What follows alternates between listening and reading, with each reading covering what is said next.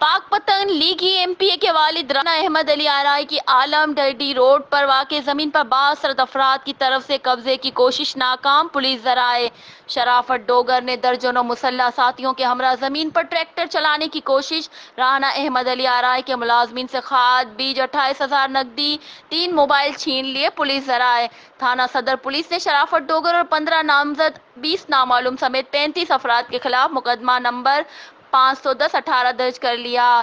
थाना सदर पुलिस की तरफ़ से मुसल्ह अफराद का दो ट्रैक्टर, एक मोटरसाइकिल छोड़कर फरार। पुलिस ने दो ट्रैक्टर, एक कार, एक मोटरसाइकिल कब्जे में ले ली। पुलिस ने चंद अफराद को मौके पर हिरासत में ले लिया।